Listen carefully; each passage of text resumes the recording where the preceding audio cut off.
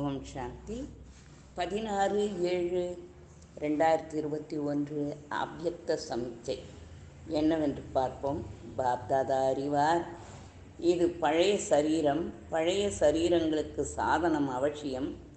ஏதாவது நேரத்தில் சாதனம் இல்லை என்றால் கூட சாதனையில் தடை ஏற்படாத அளவிற்கு அப்படிப்பட்ட பயிற்சியை அவசியம் செய்யுங்கள். எது கிடைத்ததோ அது நல்லது.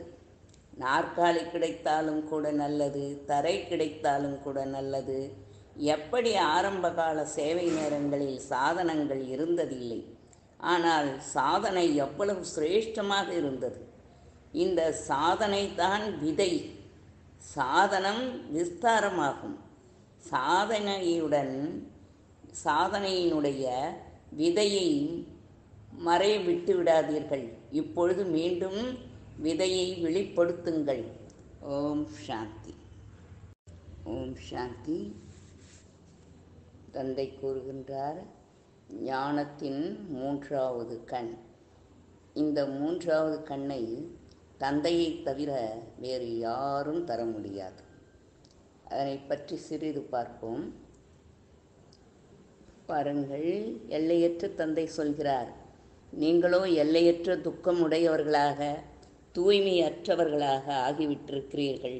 நான் இப்போது குழந்தைகளாகிய உங்களை ஆஸ்திகராக ஆக்குகிறேன். பிறகு படைப்பு பற்றிய முழு அறிமுகமும் தருகிறேன். ரிஷி முதலானவர்கள் எங்களுக்கு படைப்பவர் மற்றும் படைப்பு பற்றி தெரியாது என்றே சொல்லி வந்துள்ளனர். இப்போது அவரை யார் அறிவார்? எப்போது யார் மூலமாக அறிந்து கொள்ள முடியும்?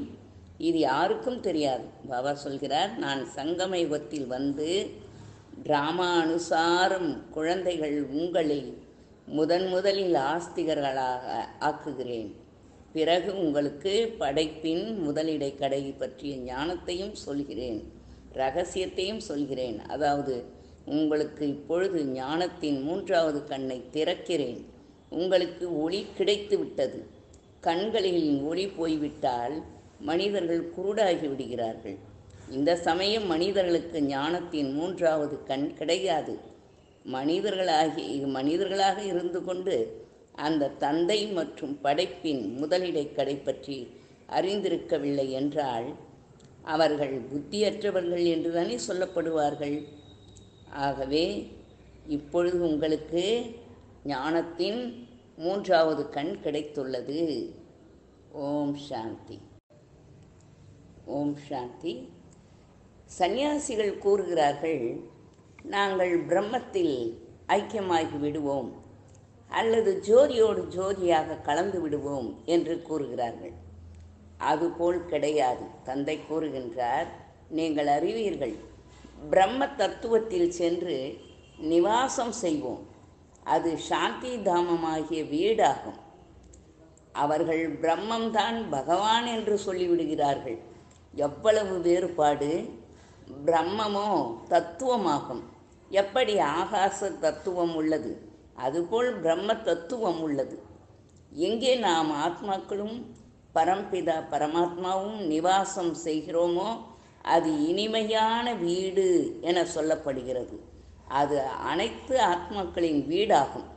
குழந்தைகளுக்கு தெரியும் பிரம்ம தத்துவத்தில் எந்த ஆத்மாவும் ஐக்கியம் ஆவதில்லை மேலும் ஆத்மா ஒருபோதும் அழிவதும் இல்லை. ஆத்மா அழியாதது. இந்த டிராமாவும் கூட உருவாக்கப்பட்டுள்ளது. அதுவும் அழியாதது. இந்த டிராமாவில் எத்தனை நடிகர்கள்? இப்போது சங்கம யுகம். இப்போதுதான் நடிகர்கள் அனைவரும் மேடையில் வந்துள்ளனர். நாடகம் முடிவடைகின்றது என்றால் அனைத்து நடிகர்கள் படைப்பவர் முதலானோர் ஆஜராகி விடுகிறார்கள். பாருங்கள். ஆகவே ஐக்கியமாதல் ஜோதியோடு ஜோதியாக கலத்தல் என்பது கிடையாது என்று தீர்க்கமாக தந்தை கூறுகின்றார். ஓம் சாந்தி. ஓம் சாந்தி. அனைவரின் சத்குரு யார்? இதற்கு தந்தை பதில் கூறுகிறார். பாபா சத்குருவாக உள்ளார். எந்த ஒரு தர்ம ஸ்தாபகரையும் குரு என்று சொல்ல முடியாது. ஏனென்றால் குரு என்பவர் துக்கத்திலிருந்து விடுவித்து சுகத்தில் கொண்டு செல்பவர். தர்ம ஸ்தாபனை செய்பவர்களை பின்தொடர்ந்து அவர்களுடைய தர்மத்தின் ஆத்மாக்கள் மேலிருந்து கீழே வருகின்றனர். அவர்கள் யாரையும் அழைத்து செல்வதில்லை. தந்தை எப்போது வருகிறாரோ அப்போது அனைத்து ஆத்மாக்களையும் வீட்டுக்கு அழைத்து செல்கிறார். அதனால் அவர் அனைவரின் சத்குரு ஆவார். ஓம் சாந்தி. ஓம் சாந்தி. பதினாறு ஏழு ரெண்டாயிரத்தி இருபத்தொன்று காலை முரளி. ஓம் சாந்தி பாப்தாதா மதுபன். இனிமையான குழந்தைகளே நீங்கள் இந்த டிராமாவின் முதலிடைக்கடை பற்றி அறிந்திருக்கிறீர்கள். உங்களுக்கு தந்தை மூலம் ஞானத்தின் மூன்றாவது கண் கிடைத்துள்ளது. அதனால் நீங்கள் ஆஸ்திகர்கள். கேள்வி தந்தைக்குரிய எந்த ஒரு டைட்டிலை அதாவது பட்டப்பெயரை தர்ம ஸ்தாபகர்களுக்கு கொடுக்க முடியாது. பதில் பாபா சத்குருவாக உள்ளார். எந்த ஒரு தர்ம ஸ்தாபகரையும் குரு என்று சொல்ல முடியாது. ஏனென்றால் குரு என்பவர் துக்கத்திலிருந்து விடுவித்து சுகத்தில் கொண்டு செல்பவர். தர்ம ஸ்தாபனை செய்பவர்களை பின்ப பின்தொடர்ந்து அவர்களுடைய தர்மத்தின் ஆத்மாக்கள் மேலிலிருந்து கீழே வருகின்றனர். அவர்கள் யாரையும் அழைத்து செல்வதில்லை. தந்தை எப்போது வருகிறாரோ அப்போது அனைத்து ஆத்மாக்களையும் வீட்டுக்கு அழைத்து செல்கிறார். அதனால் அவர் அனைவரின் சத்குரு ஆவார். பாடல் இந்த பாவ உலகத்தில் இருந்து ஓம் சாந்தி. இனிமையிலும் இனிமையான ஆன்மீக குழந்தைகள் இந்த பாடலின் ஒரு வரியை கேட்டீர்கள். இது பாவ உலகம். குழந்தைகள் அறிந்தும் உள்ளனர். நிச்சயமாக புண்ணிய ஆத்மாக்களின் உலகம் ஒன்று இருந்தது. அது சொர்க்கம் என சொல்லப்படுகிறது. பாவ ஆத்மாக்களின் உலகம் நரகம் என சொல்லப்படுகிறது. பாரதத்தில்தான் சொர்க்கம் மற்றும் நரகம் பற்றிய சர்ச்சை அதிகமாக உள்ளது. எல்லையற்ற தந்தை சொல்கிறார் நீங்களோ எல்லையற்ற துக்கமுடையவர்களாக தூய்மையற்றவர்களாக ஆகிவிட்டீர்கள். உங்களுக்கு இப்போது ஒளி கிடைத்து விட்டது கண்களில் ஒளி போய்விட்டால் மனிதர்கள் குருடர்களாக ஆகிவிடுகிறார்கள். பாருங்கள் இப்பொழுது ஞானத்தின் மூன்றாவது கண் உங்களுக்கு கிடைத்திருக்கிறது. பாபா புதிய சிருஷ்டியை படைக்கிறார் படைப்பவராகவும் உள்ளார். அவரிடம் முழு ஞானமும் உள்ளது. முழு உலகத்தின் சரித்திர பூகோளத்தை யாரும் அறியவில்லை. தந்தை தவிர வேறு யாரும் மூன்றாவது கண்ணை தர முடியாது. இந்த சிருஷ்டி நாங்கள் பிரம்மாவின் பிரம்மத்தில் ஐக்கியமாகி விடுவோம் அல்லது ஜோதியோடியாக ஜோதியாக கலந்து விடுவோம் என்று சந்நியாசிகள் சொல்கிறார்கள். அதுபோல கிடையாது. நீங்கள் அறிவீர்கள். வினாச காலத்தில் அன்பான புத்தி உள்ளவர்கள் வெற்றி பெறுவார்கள். முக்கிய தர்ம சாஸ்திரங்கள் நான்கு. மற்ற தர்மத்தை சார்ந்தவர்கள் வருவதே தங்களுடைய தர்மங்களை ஸ்தாபனை செய்வதற்காகத்தான். ராஜ்ய ஸ்தாபனை முதலியவற்றின் விஷயமே அங்கே கிடையாது. அவர்களை குரு என்று சொல்ல முடியாது. குருவின் வேலையே திரும்ப அழைத்து செல்வதுதான்.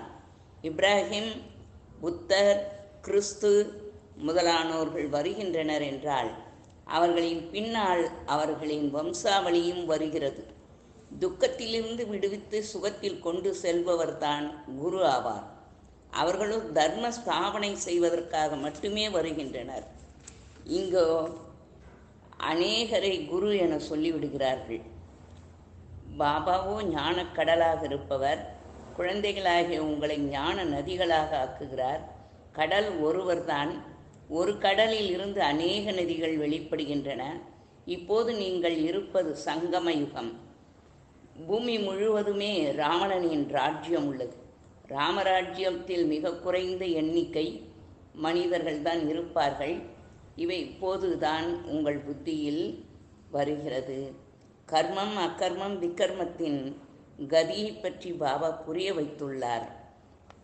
இங்கே விக்கர்மங்கள் நிறைய நடைபெறுகிறது. இப்பொழுது பாபா சொல்கிறார் நீங்கள் அனைவரும் பார்வதிகள். ஷோ பாபா உங்களுக்கு அமரகதை சொல்லி கொண்டிருக்கிறார்.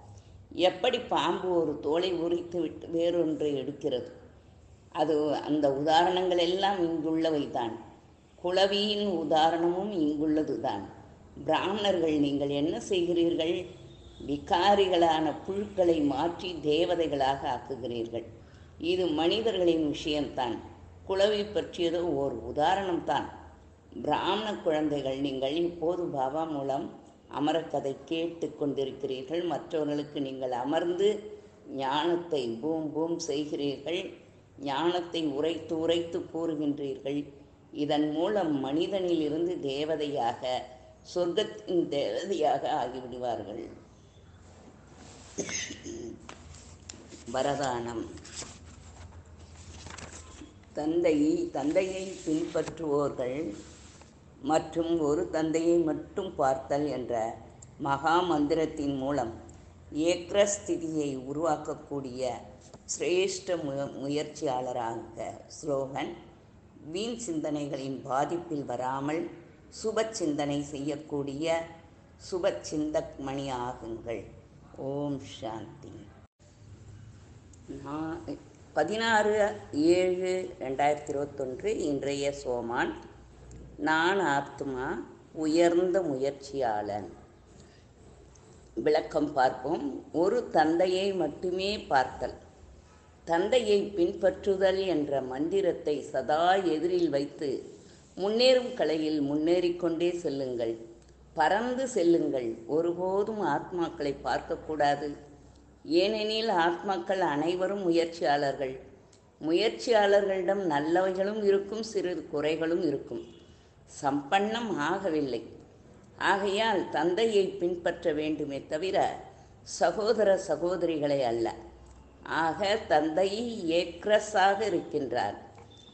தந்தையை பின்பற்றக்கூடியவர்களும் தானாகவே ஏக்ரஸாக ஆகிவிடுவர். ஓம் சாந்தி. ஓம் சாந்தி. பதினாறு ஏழு ரெண்டாயிரத்தி இருபத்தொன்று சாக்கார முரளி. ஞான சிந்தனை பாரதத்தில் தான் சொர்க்கம் மற்றும் நரகம் பற்றிய சர்ச்சை அதிகமாக உள்ளது. தந்தை வந்து குழந்தைகளாகிய உங்களுக்கு ஆறுதல் தருகிறார். இப்போது கொஞ்சம் பொறுமையாக இருங்கள். நீங்கள் பாவச்சுமையினால் அதிக பாரமாகி இருக்கிறீர்கள்.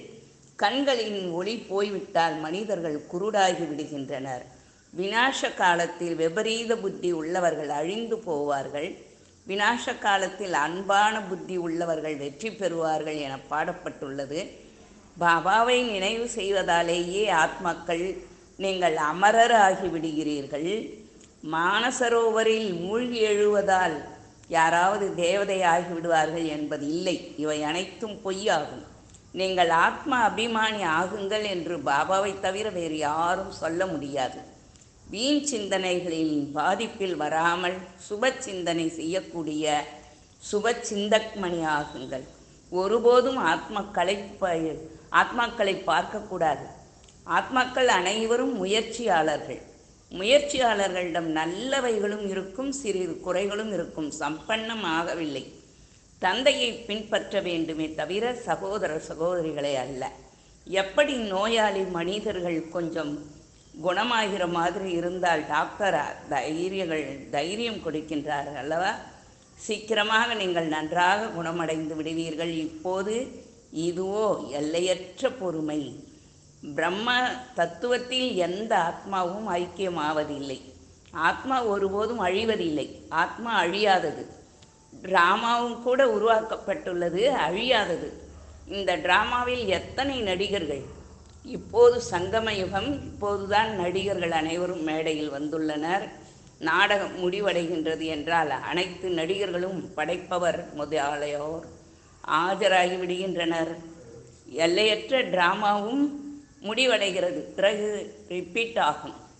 பிராமணராக ஆகாத வரை ஞானத்தின் மூன்றாவது கண் கிடைக்காது. ஓம் சாந்தி.